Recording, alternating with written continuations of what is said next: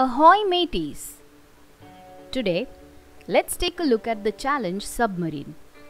The challenge statement Design and create a water bottle submarine that can be made to float and sink.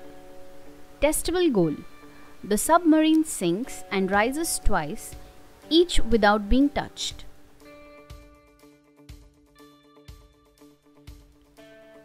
Gravity pulls down on everything. Notice both the spoons, when dropped, fall down on the table.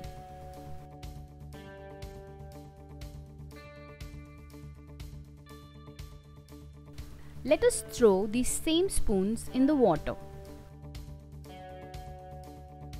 The plastic spoon floats whereas the steel spoon sinks.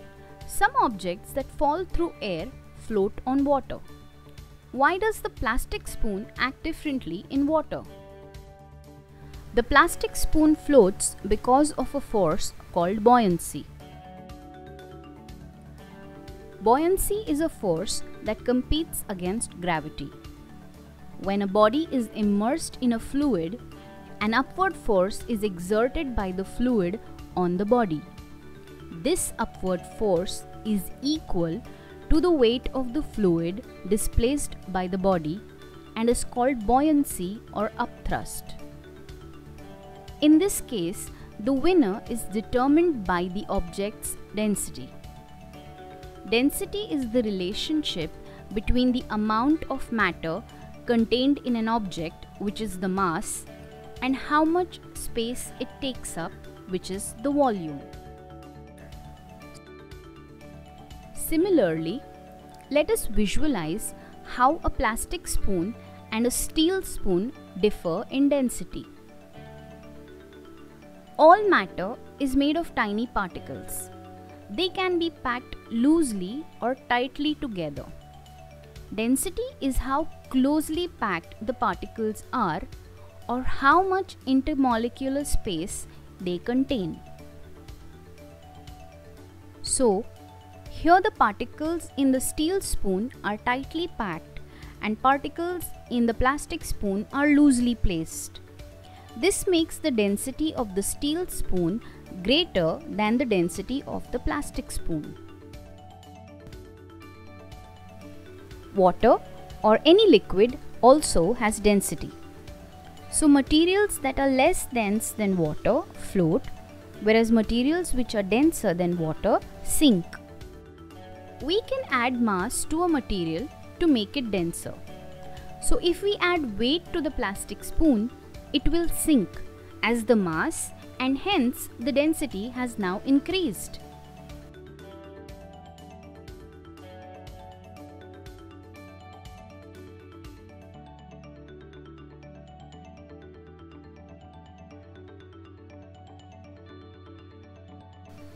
Let us try with another material. A balloon filled with air will float. But the balloon filled with water will sink.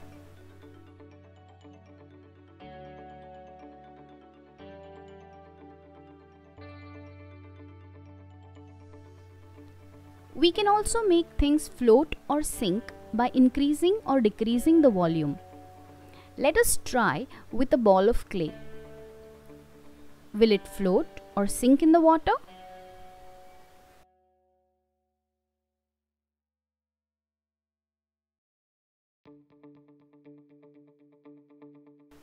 Now we will try changing the volume of the clay, that is, change the space taken up by the clay.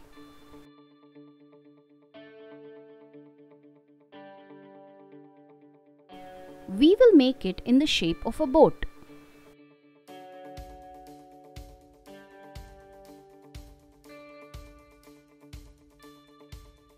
The changed shape has lots of empty space such that it occupies a larger volume. Will it sink now? The clay ball was compressed and did not have any air to hold in it and hence it had more density. So, changing the mass or volume can affect the buoyancy of the object. Let us now think about how a submarine works. For that, let's observe a few fish. Under normal conditions, the average density of a fish is slightly greater than the density of water. It follows that the fish would sink if it did not have some mechanism for adjusting its density. The fish accomplishes this by internally regulating the size of its air-filled swim bladder which helps it to reduce its density and thereby not sink to the depths. Sometimes ships do not want to float. A submarine is a ship designed to do just that. To switch between floating and submerging, the captain adjusts the submarine's ballasts. Ballast is a material used to raise, lower, or stabilize a ship's position. To dive, air is released through a vent on the top and replaced with seawater from below. This makes the submarine denser than the water around it, causing it to sink. When the submarine needs to rise to the ocean surface, the ballast tanks are filled with compressed air that pushes out the water. This decreases the submarine's density. The submarine today will be a plastic bottle.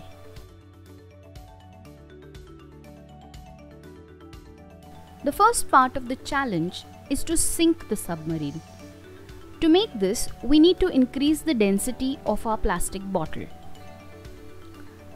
The second part of the challenge is to make the submarine float. For this, we would need to decrease the density of the plastic bottle. How are we going to increase the density of the plastic bottle? We can add weight to the plastic bottle. This weight could be by letting in water and or by adding external weight to it.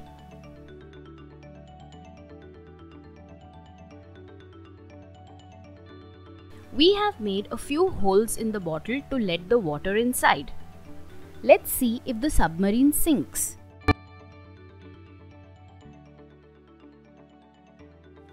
As you can see, it's taking a little time for the submarine to sink. Let's see if adding weight to the submarine makes it sink faster.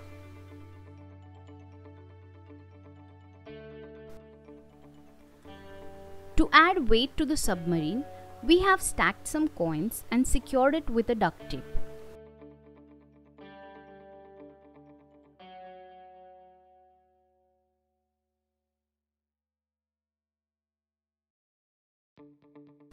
These stacks of coins will be attached to the submarine evenly with a duct tape.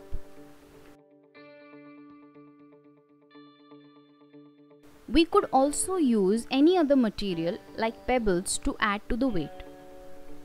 These rolls of coins not only add weight but also add rotational stability to the submarine.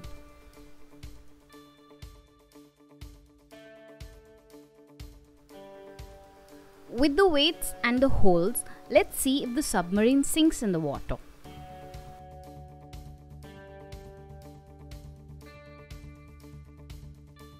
Yes, this works. Our first testable goal is met. In case the bottle does not sink, it would mean that we need to add more weights and this means more rolls of coins to be attached to the bottle. The next testable goal is to make the submarine float. Remember how the submarine rises? It adds air to the ballast tank and lets out the water from the tank. This reduces the density of the submarine to make it float. In our challenge today, we will take a plastic tube of around 2 to 3 feet in length, a rubber band and a balloon. Take a scissor and poke a hole in the cap of the bottle. Put the plastic tube through this hole. Please be very careful when using scissors. Once the plastic pipe is in, we will attach a balloon to one end of the pipe such that the balloon goes inside the bottle. Secure the balloon to the pipe with rubber band so that there is no leakage of air.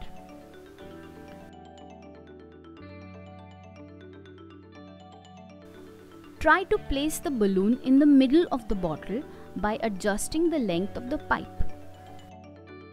Fit the cap back to the bottle. From the open side of the plastic pipe, try blowing air to blow up the balloon. It works! Let's now check the other testable goal. The submarine should float. We need to sink the submarine and now blow air in the pipe to inflate the balloon. Once the balloon is inflated, the submarine will slowly float to the top. Close the opening of the pipe with your finger and the submarine will stay afloat. We now have a submarine that sinks and rises without being touched.